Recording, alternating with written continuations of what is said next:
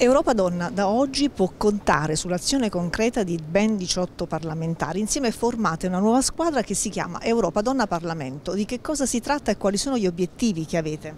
Allora, mi piace che eh, si parli di squadra perché in realtà abbiamo proprio con questa alleanza unito due, due poli importanti le donne, innanzitutto donne, le donne che stanno dentro le istituzioni e che quindi organizzano e gestiscono la sanità pubblica e dall'altra le donne, le donne e le pazienti che hanno a che fare con un tumore al seno.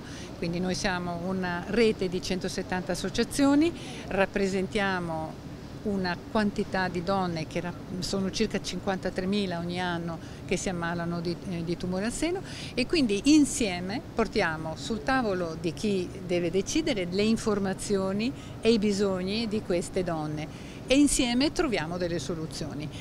Ovviamente il percorso è fatto anche con uh, i medici, con i clinici che fanno parte del nostro comitato tecnico scientifico.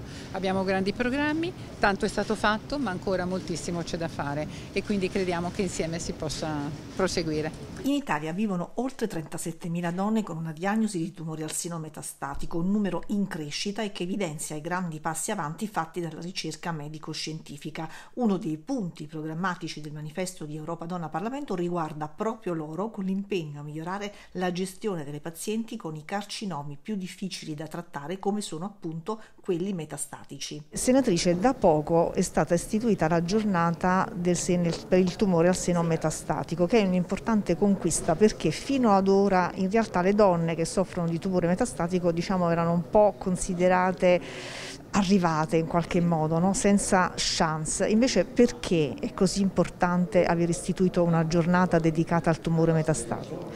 Ma guardate, questo è davvero un altro diciamo, traguardo raggiunto da Europa Donna perché so che anche già dalla precedente legislatura se ne era parlato. Io stessa, come avevo detto, ho presentato una proposta di legge che è in Senato, ma la giornata finalmente è già stata istituita l'anno scorso. Questo perché? Perché davvero c'è anche qui una disinformazione. Le donne operate al seno e quindi dal punto di vista metastatico non è detto che devono essere abbandonate per la loro strada, anzi hanno ancora più bisogno di avere un percorso guidato perché attraverso attraverso la volontà appunto delle persone, tante donne vengono operate anche due o tre volte, ma non meno non hanno la volontà di poter migliorare le loro condizioni di vita e perché no anche raggiungere una guarigione. Quindi non abbandoniamo per la strada chi purtroppo ha un tumore metastatico, anzi diamo ancora più diciamo, seguito a queste necessità. Ho conosciuto tante donne che avevano questa, diciamo, questa patologia con una grande volontà, noi dobbiamo aiutarle.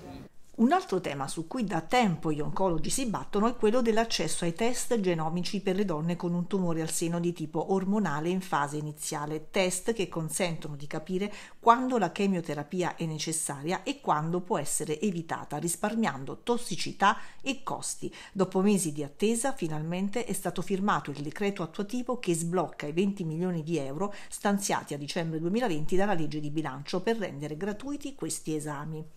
Come Foce voi vi state battendo eh, insieme ad altri eh, per, perché si attivi davvero in concreto la, la, possibilità per le donne di avere accesso ai test genomici per il tumore mammario. A che punto siamo?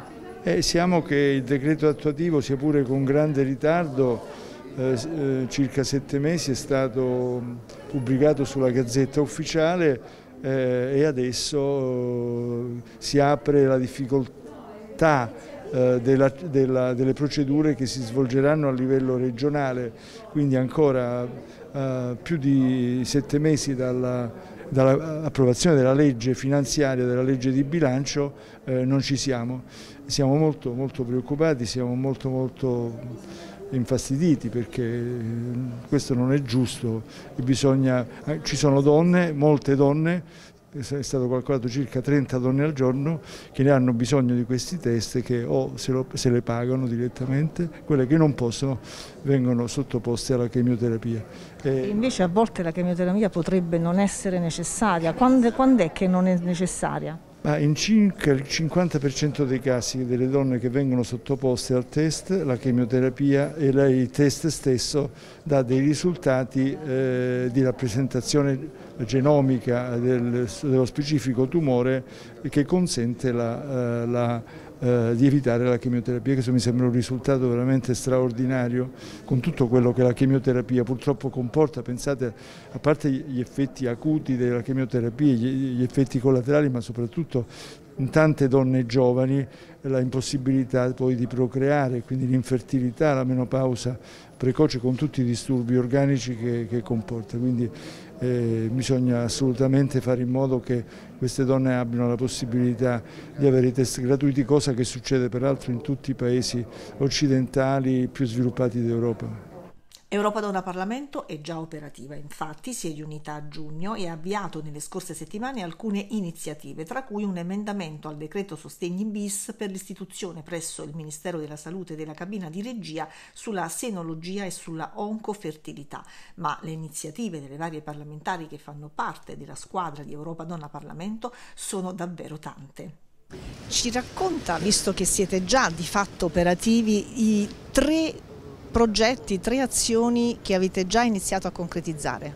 Ma uno, uno, per esempio è quello di completare un decreto che è nato nel 2014 e che è una risoluzione europea che noi di Europa Donna abbiamo portato dall'Europa in Italia che riguarda i centri di senologia multidisciplinare.